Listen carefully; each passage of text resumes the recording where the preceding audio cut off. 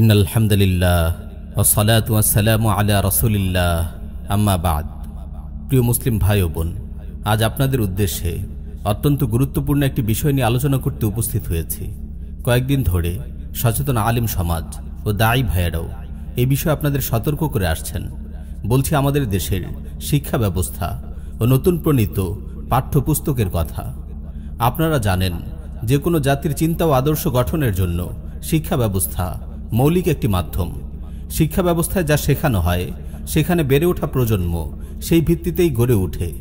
এজন্যে ইংরেজরা যখন উপমহাদেশে উপনিবেশ প্রতিষ্ঠা করে, প্রথমেই তারা স্থানীয় মুসলিম শিক্ষা ব্যবস্থাকে পরিপূর্ণ ধ্বংস করে দেয়।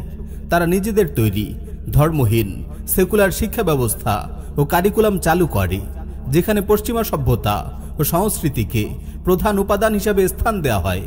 আর ইসলামী সভ্যতা ও সংস্কৃতিকে সম্পূর্ণরূপে বিদায় করে দেওয়া হয়। ইংরেজ তোষণের সুবিধাবাদী, হিন্দুত্ববাদী একটি শ্রেণি, পশ্চিমা নষ্ট চিন্তাধারার পাশাপাশি পৌত্তলিক সভ্যতা সংস্কৃতি আর ইতিহাসকেও এই কারিকুলামে প্রবেশ করিয়ে নেয়। সেই থেকে আজও আমাদের সন্তানেরা এই সেকুলার শিক্ষা ব্যবস্থার মধ্য দিয়ে গড়ে উঠছে।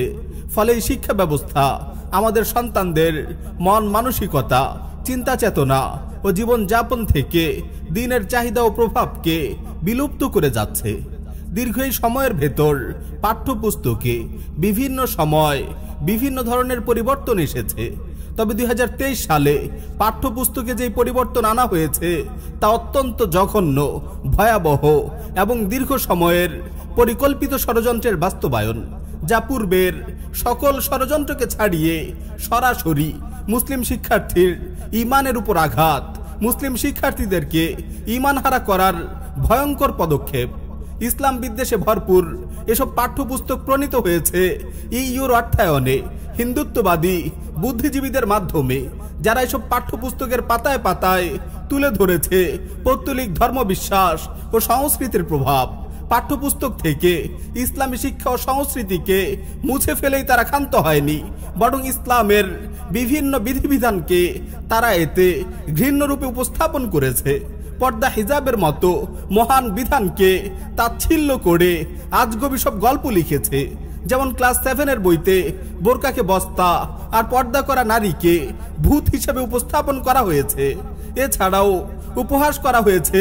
মুসলিমদের অন্যতম নিদর্শন ও গুরুত্বপূর্ণ সুন্না দাড়িকে।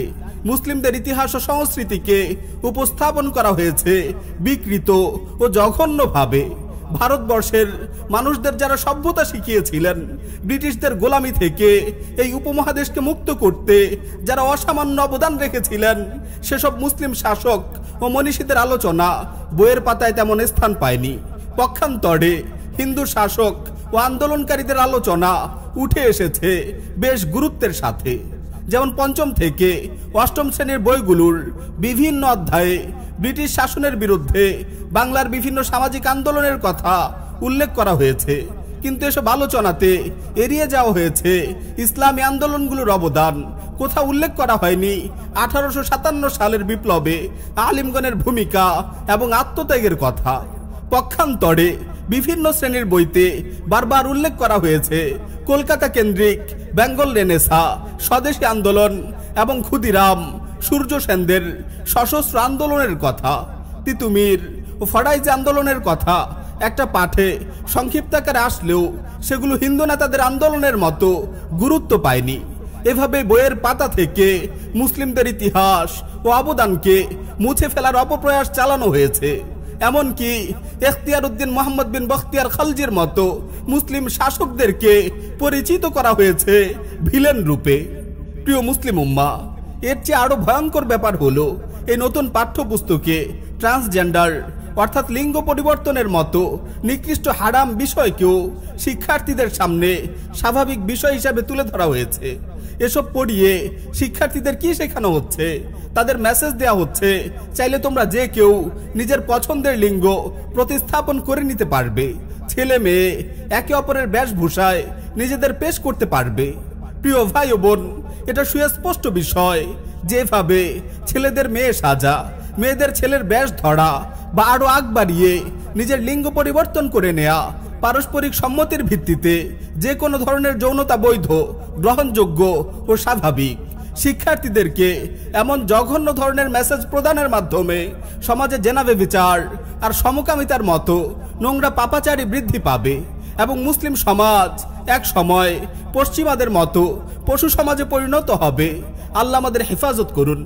এছাড়াও নতুন এই পাঠ্যপুস্তকে ইমান বিধ্বংসী বিবর্তনবাদ, কথিত মানবতাবাদ ও জাতীয়তাবাদের নামে ধর্মীয় পরিচয়ের ঊর্ধ্বে আঞ্চলিক ও মানুষ পরিচয় পরিচিত হওয়ার সবক দেওয়ার মাধ্যমেও মুসলিমদের আত্মপরিচয়ের উপর আঘাত হানা হয়েছে। আমার প্রিয় মুসলিম ভাই ও বোন, একটু চিন্তা করে দেখুন, এই পাঠ্যপুস্তকের শিক্ষার উপর মুসলিম শিক্ষার্থীরা গড়ে উঠলে তাদের পরিণতি কি হবে? এই পাঠ্যপুস্তক তাদেরকে কখনোই মুসলিম হিসেবে বড় হতে দেবে না। এই পাঠ্যপুস্তক তাদেরকে ইসলাম বিদ্বেষী এক প্রজন্ম হিসেবে গড়ে তুলবে। তাদেরকে বানাবে যৌন বিকৃতি আর উশৃঙ্খলায় বিভ্রান্ত, উন্মাদ এক প্রজন্ম।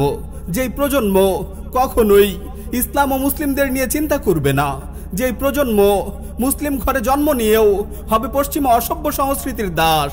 যেই প্রজন্ম নিজেদের আত্মপরিচয় নিয়ে চরম সংকটে ভুগবে। যেই প্রজন্মের পারিবারিক জীবন হবে ভঙ্গুর। যেই প্রজন্মের মানসিক স্বাস্থ্য হবে দুর্দশাগ্রস্ত। যেই প্রজন্ম বিবাহ বন্ধনে আবদ্ধ হয়ে দাম্পত্য জীবন গড়ার প্রতি আগ্রহী হবে না, বরং তারা উশৃঙ্খল ও বিকৃত যৌনাচারে অভ্যস্ত হবে। তাদের দায়িত্বশীলতা হবে চরম অক্ষমতার চাদর আবৃত। আমার ভাইয়েরা, তাদের এই ষড়যন্ত্র কেবল সাধারণ শিক্ষা প্রতিষ্ঠান, পাঠ্যপুস্তককে ঘিরেই সীমাবদ্ধ থাকেনি। আলিয়া মাদ্রাসার পাঠ্যপুস্তক থেকেও তারা টুপি, পায়জামা, হিজাব ও সালামের মতো বিষয়বস্তুগুলোকে মুছে দিয়েছে। এগুলোর বদলে সংযুক্ত করেছে পাশ্চাত্যের রীতি ও কৃষ্টি কালচার প্রিয় মুসলিম ভাই ও বোন, মুসলিম প্রজন্মের ঘাড়ে চাপিয়ে দেয়া এই ইমান বিধ্বংসী শিক্ষা ব্যবস্থা, এটাকে দেখেও যদি আপনি জাগ্রত না হন, জাতিকে সতর্ক না করেন রাম বাম ও পাশ্চাত্যের প্রভুদের ইশারায় এমন ধর্মহীন শিক্ষা ব্যবস্থা, অনুমোদনকারী, এই তাগত সরকারের বিরুদ্ধে সোচ্চার না হন। তবে জেনে রাখুন, ওয়াল্লাহি, প্রজন্মের এই করুণ অবস্থার জন্য আপনিও মহান রবের কাছে দায়ী থাকবেন। প্রজন্মের এই নির্মম অধপতনের নীল নকশা যদি আপনাকে চিন্তিত না করে, তবে আপনি মহান রবের সামনে দণ্ডায়মান হওয়ার প্রতি বিশ্বাস হারিয়ে ফেলেছেন।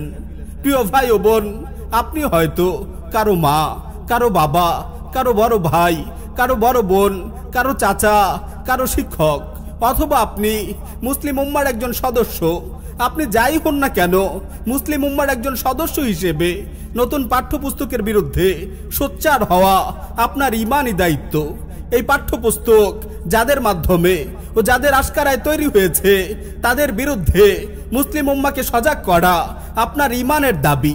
যারা মুসলিমদের সন্তানদের মন মগজে দিন বিরোধী ও ইসলাম বিদ্বেষী চিন্তা চেতনা চাপিয়ে দিয়ে পশ্চিমা আর কলকাতা কেন্দ্রিক আধিপত্য কায়েম রাখছে তাদের চেনা এবং তাদের আধিপত্যকে ধ্বংস করা আপনার জন্য আবশ্যিক কর্তব্য।